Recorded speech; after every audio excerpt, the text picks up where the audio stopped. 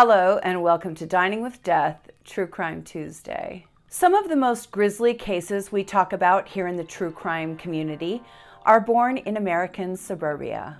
We all know that in any house, on any street, at any given time, terrible things can be happening on the other side of the door that we can see from the street. People keep dark secrets. They tell lies. They hurt each other. Sometimes they kill each other. In just a few days, on May 9th, 2022, Hulu is releasing a five day miniseries starring Jessica Biel entitled Candy. The series is based on a story that not a lot of people outside the state of Texas know about. In fact, I had kind of forgotten about this case until one of my longtime viewers, poor old Roy, reminded me of it a few weeks ago. I hadn't thought about this case in a while, but as soon as I started to do research, I learned it is being made into a series. Well, there's a reason for that. This story has it all. It has Christian suburban housewives, it has sex, it has jealousy, it has secrets, and it's got an axe murder. This is the story of Candy Montgomery. Let's get into it.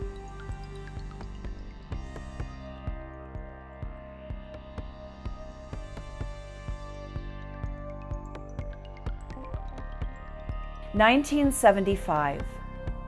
Our story begins in Wylie, Texas. It's a small town just starting to grow as wealthy employees and executives from Texas Instruments were moving to the area to get out of Dallas and live in a quieter place. It was still very much the 1950s in Wylie, Texas, even in the 70s. Each morning, the men headed off to their jobs in the city, and the women stayed home to tend the children, cook the meals, and keep the houses. As is the case a lot of the time in those scenarios, the women are bored and kind of unhappy, and they fill their time with soccer practice and school activities and a little gossip. Most of the residents in Wylie, Texas were members of the Lucas Methodist Church, and their membership in that church gave them things to do, activities to plan, bake sales to prepare for, and it also served as a hotspot for local drama. One of these bored housewives was a woman named Candy Montgomery. She was a spoiled woman who was doted on as a child. She was an army brat, and her family moved around a lot as she was growing up. She was fiery and independent and was known as someone who would walk over the top of you to get what she wanted. Early in her childhood, Candy moved out of her hometown. She worked, but she didn't like working. She wanted to get married and have kids and be a stay at home mom. The problem was she just couldn't find the right man. She dated and even had a few sexual partners, but she never felt like they were the right person for her to settle down with. She then met the man who would become her husband, Pat Montgomery, and, well, she felt the same way about him. He wasn't very handsome, he didn't have much personality, and Candy found him boring. But Pat was going to be rich, and Candy wanted to be rich too. She decided she could overlook Pat's mediocre looks and his boring personality in exchange for the life he could provide for her. Pat proposed to Candy, and she decided that he was the best shot at getting what she wanted out of life, so she accepted. The wedding wasn't anything spectacular, and after the mediocre wedding, the couple had a mediocre honeymoon. Two children followed, a son and a daughter, and by the mid 1970s, Pat was earning a very good income at Texas Instruments. Candy started to feel like she might have made it. Her life was going to be what she had always hoped it would be. The family moved into the dream house, and from the outside, it looked like they had it all. But Candy Montgomery was still bored. She was bored, and she wasn't the only bored housewife in Lucas. Soon, she had a friend. Betty Gore was living a life similar to that of Candy Montgomery's. She was married to a man named Alan Gore. Like Pat, he wasn't very handsome and he wasn't very interesting. He was reserved and, by all accounts, very, very average. Alan worked in the telecommunications field, and Betty was a school teacher. But when Betty got pregnant and their daughter was born, Betty decided she was finished working. She wanted to be a stay at home mom, and Betty got what she wanted. Alan was making enough money that they didn't need for Betty to be working, so she should be happy, right? She was not. Betty was in a slump. She got so depressed that people close to her insisted she see a doctor, and when she did, she was diagnosed with postpartum depression. Now, back in the 1970s, postpartum depression was viewed as some kind of mythical, mysterious diagnosis. It wasn't taken seriously, and it was most definitely not talked about openly. Betty was treated like most of the women were back then, not properly. She was given Valium and she was sent on her way. Even though Betty was struggling, she was someone that everyone in town loved. She was a friend to everyone, she was kind, and she was thoughtful, and people really loved her. Betty got pregnant again, and after the birth of her second daughter, things got much, much worse for her. She pretty much disappeared from the social scene in Lucas, and she spent most of her time in her bedroom. She was suffering. She needed help, but things like this were just not properly addressed back then. I'm not so sure they are now. Alan complained to his friends that he had no sex life and that Betty was a zombie. The doctors told him Betty would get better, but she didn't. She was unhappy, and Alan was unhappy, and there was just a whole lot of unhappy in little old Lucas. As the Gores struggled privately in their home, Candy Montgomery was struggling privately in hers. Candy was not satisfied, and she actually sat down and made the deliberate decision to have an affair. She decided that an affair was exactly what she needed to spice up her life, to bring some excitement into her daily routine, and to make herself feel better. She wanted to feel sexy and young, and she wanted to breathe some fresh life into her boring marriage. The problem was, in order to have an affair, she needed a man. Usually, when people have an affair, it's just something that happens, right? Not with Candy. This was a decision, this was deliberate. She had made up her mind, and Candy Montgomery always got what she wanted. 1979. Candy Montgomery drove to the Methodist Church, where she was a member, to attend a weekly volleyball game. There, she chatted with the other parents as the game progressed and they played with their kids. Candy knew Alan and Betty Gore. Their daughters were friends. Candy actually considered Betty a friend. But that night, maybe it was the sickly fluorescent glow of the tube lighting in the gymnasium at the church, maybe it was the smell of sweaty sneakers squeaking on the floor. Something was different about Alan Gore. He smiled at Candy, and suddenly she realized he was the one. Candy set her sights on Alan. She began flirting with him whenever she saw him, and this intensified over the next few weeks. One night, while sitting in a car together, Candy propositioned Alan. Candy told Alan she wanted to have an affair with him. She told him it would be no strings attached, no plans for divorcing their respective spouses, no saying I love you, just sex. Alan was stunned but not stunned enough to say no, and within a couple of days, the couple began sneaking away for lunchtime meetings at cheap Dallas motels. It was everything Candy Montgomery had hoped for. She finally felt alive. Alan and Candy first started meeting every week, but then it was more than once a week.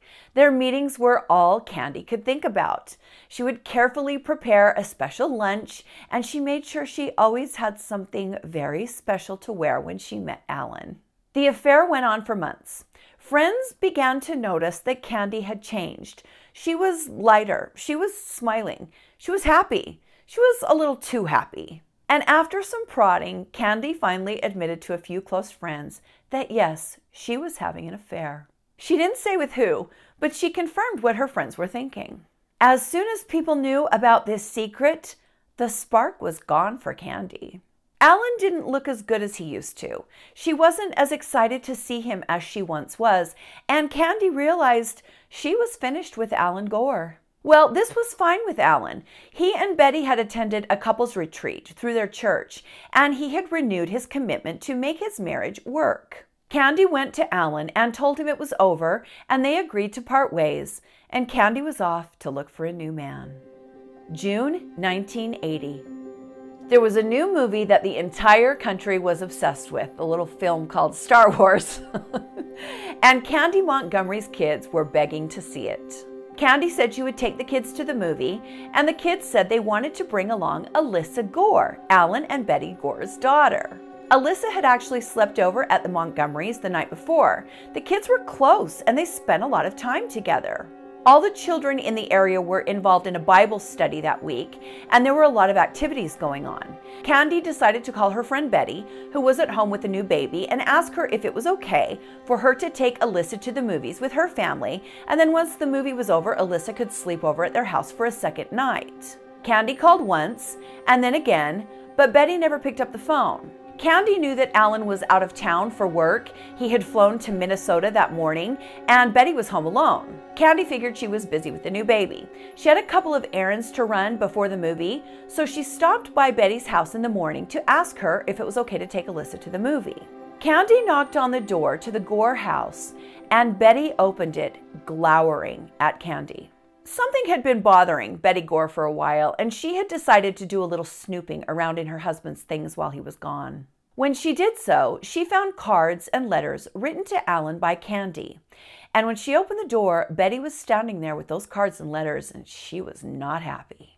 Candy was shocked, and at first she denied everything, but she knew she was caught. Candy swore up and down to Betty that the affair was over, but Betty didn't believe her. She was furious. She was yelling at Candy and calling her names. She was really upset. She told Candy she was a homewrecker and she wanted her out of their lives for good. She told her no one was going to steal her husband and she never wanted to see her again. The argument intensified and a couple of neighbors reported later on that they had heard shouting, but then suddenly it stopped. Alan Gore arrived at his destination and he began calling Betty to check in on her. Betty didn't like it when Alan was out of town. She didn't like it when he flew. It made her very nervous. There was no answer on the house phone. Alan unpacked his bags and then called Betty again in an hour, and then again in 30 minutes, and then again in another 30 minutes, but Betty never picked up the phone. Alan started calling friends and neighbors to find out if Betty was with them. No one had seen her. Alan even called Candy, and when he did, Candy told him that Alyssa was spending the night at her house. She also told Alan that she had seen Betty around 10 o'clock that morning, but she didn't tell him about the confrontation. She said everything seemed fine to her. Finally, Alan sent some neighbors to his house to check on Betty in the afternoon. A couple of women went over to the house and knocked. There was no answer, but they called Alan back and said everything seemed fine. Alan was not satisfied with this answer. He knew Betty would answer the phone, and he knew that she expected Alan would call her when he got to his destination. So then Alan called a couple of friends of his in the neighborhood. Finally, Alan called a friend of his named Richard Parker. Richard got another man from the neighborhood named Lester Gaylor, and they decided they were going to go to the Gore house. When they got to the Gores, they knocked, and Betty didn't answer, just like everyone said. So Richard tried the doorknob, and he was surprised to find the door unlocked. Richard opened the door and went inside, where immediately he heard a baby crying. Lester later said, When we peeked into the room, a little old baby popped its head up. It had been there all day, hadn't been fed or nothing. The men went to the baby, who was limp and dehydrated. She had been crying for a very long time and she was in need of a diaper change. The men realized something was very wrong. They began carefully going through the Gore house. On the floor, they saw a trail of blood leading to the utility room. They followed the trail, and there, through a partially open door, they saw Betty Gore. She was down on the ground and she was soaked from head to toe in blood. At first, the men weren't even sure it was Betty. Her face was so disfigured that she wasn't even recognizable. Richard turned to Lester and said, My God, she's blown her head off. They thought maybe Betty had taken her own life. But then they saw something. There in the corner of the room, leaning up against the wall, was a three foot wood handled axe. It was covered in blood. Betty Gore had been murdered in her own home on Friday the 13th with an axe. This is a real life horror movie, has all the elements. The men immediately called the police, who quickly arrived at the scene. People don't get murdered in Wylie, Texas. They sure as hell don't get murdered in their own homes in the middle of the day. There were only five police officers in Wylie, Texas. This was a little tiny town out in the country. This police department was not equipped to deal with a case like this. In fact, when an officer from Dallas, who had been called in to help, arrived at the Gore home, he was absolutely shocked to see the entire Wylie Police Department, along with more than a dozen neighbors, standing in the living room of the Gore house. This was not good. The crime scene was completely contaminated, and they had an axe murderer running around. Was a bad situation. Everyone around Wylie was stunned. Word very quickly spread, and over the next 24 hours, gun stores sold out of both weapons and ammunition. The residents were terrified. There was talk of a madman, a transient in the area. People claimed there had been a homeless guy that they'd had to shoo away from their businesses. It must be him. Surely this couldn't be someone from their little neck of the woods. We always blame, you know, the homeless people or the foreign people or the people who have just moved in. It's never somebody right from the neighborhood, right? Until it is. Even the police themselves wondered because the attack was so brutal. This didn't look like a dispute. This was wild. It was animalistic. And on top of the brutal death, the neighbors and police had trampled through the blood back and forth, so there was blood everywhere. There were lots of bloody footprints coming in and out of the house, through the hall, and even down the sidewalk. Now, this is unbelievable to us now. We can't imagine trampling through a crime scene. Well, okay, with the exception of JonBenét and a couple other cases. But back in 1980, crime scenes were just not secured like they are now. And people didn't know they shouldn't be walking around a dead body, they shouldn't be in a crime scene. Alan Gore raced home from Minnesota and sat down with the police. Cops wondered if he had killed his wife before leaving on his trip that morning, but they had found a bloody footprint right near Betty's body, and it didn't come close to matching Alan's shoe size. The footprint belonged to someone very small. At first, the cops were put off by Alan's demeanor. He was calm. He was too calm. He wasn't crying, he wasn't hysterical, he was just being Alan. And as police continued to interview neighbors, they found out that's just how Alan always was. He was a man of few words and very little emotion. The police saw that the killer had attempted to clean up the crime scene, but there was far too much blood to be cleaned up. There was a bloody thumbprint on the family freezer, and then again that bloody footprint from what appeared to be a rubber sandal next to the body. Then the police discovered that the killer had showered after the murder. There was blood on the bathroom wall and in the shower and sink drains. There was also a pot of burnt coffee in the kitchen on the burner that had been on all day. Betty Gore had been very brutally attacked. Police said she suffered axe blows to the face, arms, and torso. This was vicious. It was horrific.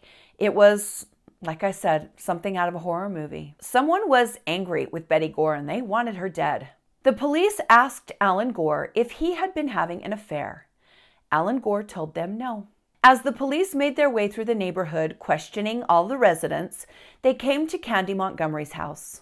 Candy acted shocked at the news. She made no mention of her affair with Alan, let alone the fact that she had had a major confrontation with Betty earlier in the day. In fact, after Betty's body was found, Candy actually cooked casseroles for Betty's family members who had gathered at her home.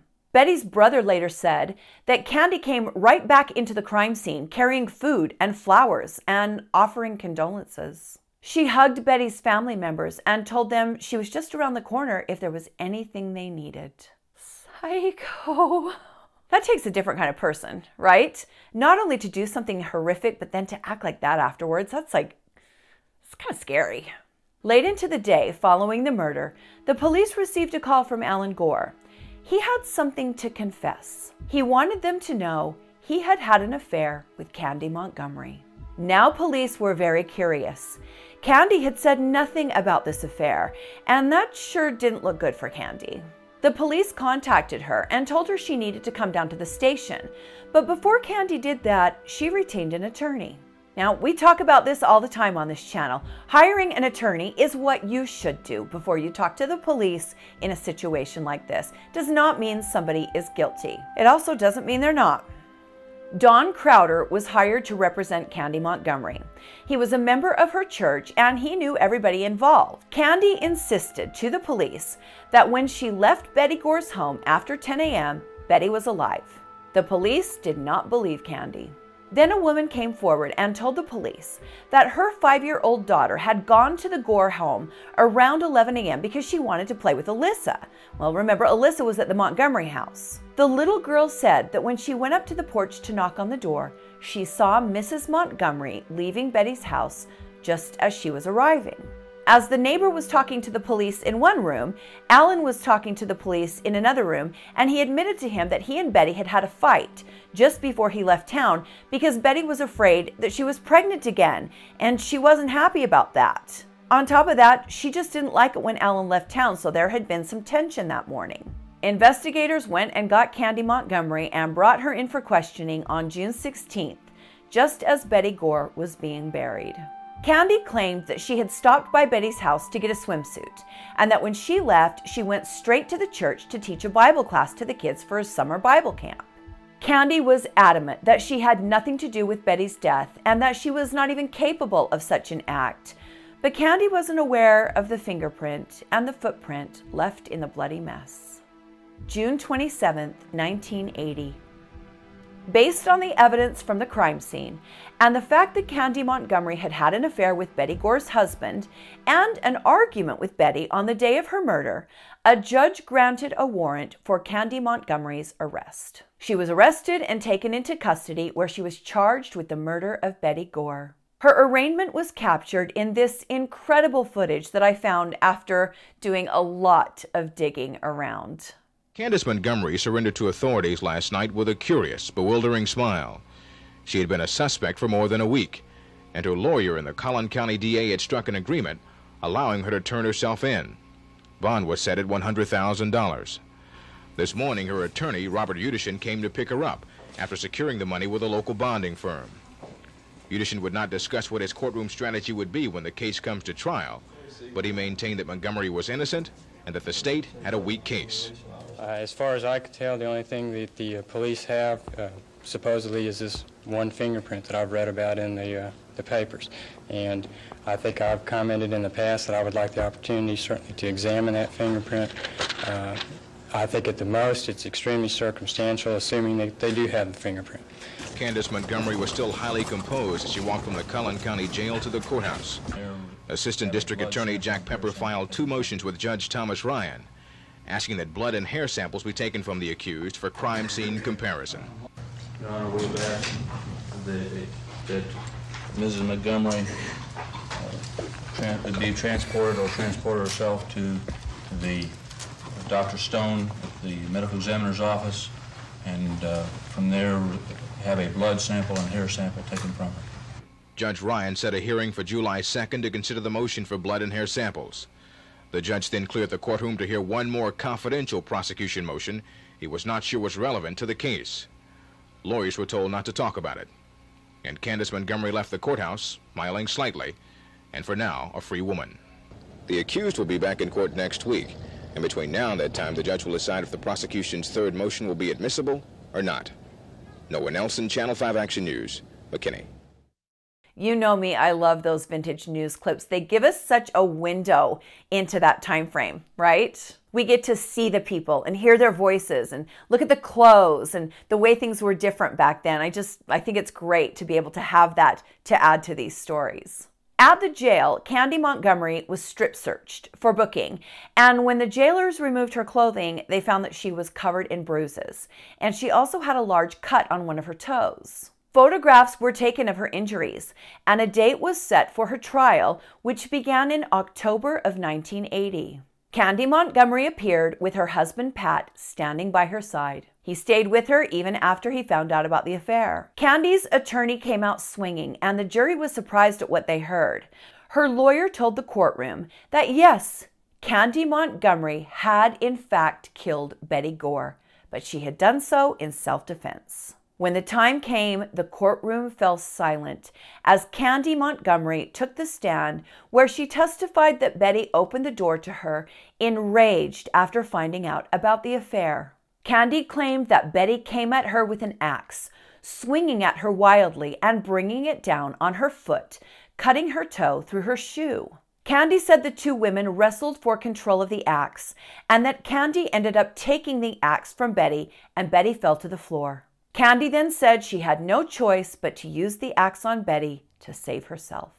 Prosecutors scoffed at Candy's testimony and said that the multiple blows delivered to Betty were far and above what was needed to kill her. Candy's team hired a psychiatrist to testify that Betty had shushed Candy during the argument and that that gesture caused Candy to fly into a rage because she had childhood trauma, being shushed while being abused as a child. We all have some form of childhood trauma. You can't kill somebody because they trigger it. As Candy sat on the witness stand, she cried and said over and over, I hit her, I hit her, I hit her. She said she was in a panic. She ran to the bathroom and showered, washing the blood and the gore from her body. She ran home and threw her clothes in her own washer, changed, and then appeared at the Bible class to teach as if nothing had happened. Yeah, it takes a different kind of person. The jury was sent to deliberate, and everyone involved assumed it would be several days before they returned. They were all wrong. Just four hours later, the jury came back, and this did not look good for Candy. The foreperson arose to speak and said, We find the defendant, Candy Montgomery, not guilty of the crime of murder. There was a gasp in the courtroom as Candy Montgomery was acquitted. You just wonder, don't you, how juries arrive at some of the verdicts that they do. It's, it's fascinating. Everyone in the courthouse was stunned. Candy wept as she was led from the courtroom to a waiting vehicle, and outside a large crowd had gathered and they were shouting at her, Murderer.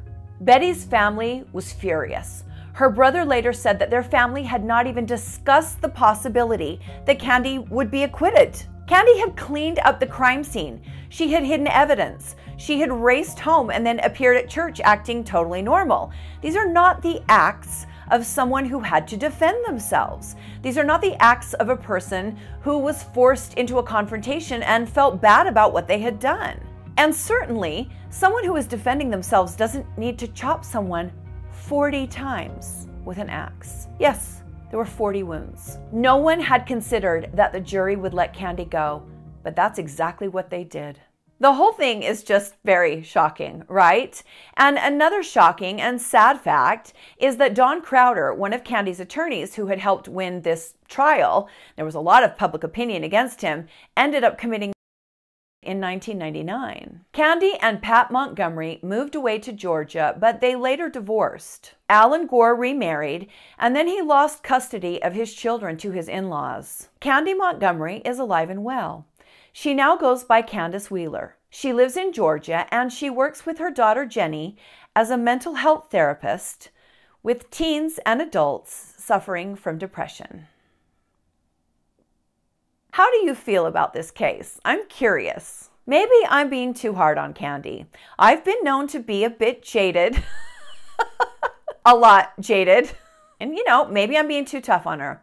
I just know that if I ever had to defend myself, I wouldn't be trying to cover up what I had done. I wouldn't shower in the dead person's bathroom or run home and clean myself up and then head to church, acting like nothing had happened.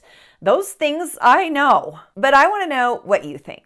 And I want to know if you're planning to watch the miniseries coming to Hulu. I'm really looking forward to it because Betty Gore is being played by Melanie Lynskey from Castle Rock and XX and Yellow Jackets, which, oh my gosh, if you're not watching Yellow Jackets, you gotta watch it. It's so good. I love Melanie Lynskey and I'm very much looking forward to seeing her portray Betty Gore. It won't be the first time these events have been made into a movie. This case inspired the CBS television movie A Killing in a Small Town, which aired on May 22, 1990, and starred Barbara Hershey as Candy Montgomery, although the character she portrays was called Candy Morrison in that version. I've also heard talk that Elizabeth Olsen is going to play Candy Montgomery in an HBO production. So this story is really hot right now, which of course means I had to bring it to you guys. I always try to bring you guys a mix of older stories, well known stories, and new stories, or stories you haven't heard so much, and I hope you like it. This is an age old tale, one that we've heard time and again,